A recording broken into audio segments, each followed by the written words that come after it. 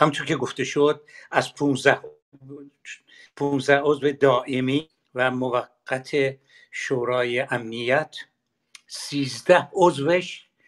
به این پیشنهاد امارات رأی مثبت دادند انگلستان رأی ممتنع داد و آمریکا ننگی رو برای خودش خرید. ننگی رو برای خودش خرید. برای اولین بار در تاریخ مخالفت کرد با آتش بس که گرچه این آتش بس در واقع همونطور که آنتونیو گوترش گفت فاجعه انسانیه که در حقیقت ما داریم می‌بینیم که چگونه جهان به این درجه از ابتزال به این درجه از انحطاط و به این درجه از بی اهمیتی زندگی انسان ها رسیده که با بیشرمی هرچه تمامتر به آتش بس رأی منفی میده یعنی اینکه این جنایت ادامه داشته باشه و کمک می‌کنه این نقطه ننگیست برای آمریکا و در تاریخ خواهد ماند. بی تردید اینطوره بی تردید اینطوره. در کنار اون دوستان عزیزم بدانند که زنان و مردان دلاور ما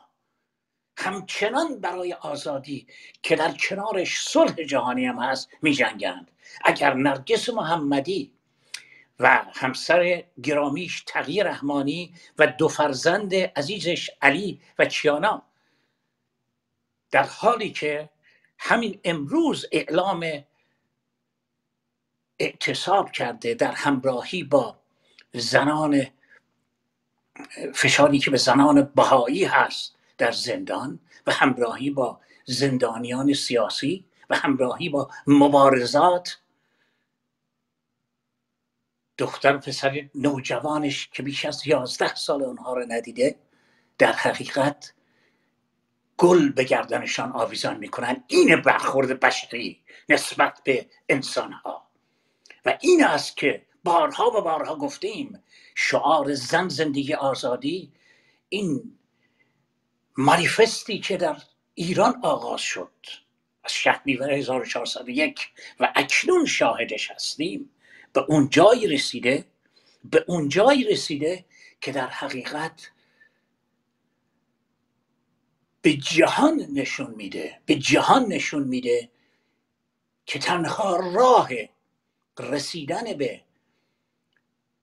صلح آزادی و عدالت اجتماعی و جلوگیری از فجایع انسانی استقرار نظام های دموکراتیک هست. به جای آنکه قدرت در دست اقلیت ناچیزی باشند که کمترین اهمیتی نه تنها به جان جان انسان ها نمی‌دهند و کرامت انسانی نمی‌دهند بلکه نابودی آنها را در واقع در برنامه خودشون دارند و انجام میدن حال واقعیت اینه که واقعیت اینه که آزادی آزادی آزادی آن چیزی که می‌خواهیم و رهایی از رهایی از نظام سلطه قدرت های بزرگ که در واقع تجارتشون جنگ و نفرت و خشونت تنها در گروه آزادی انسان ها از این نظام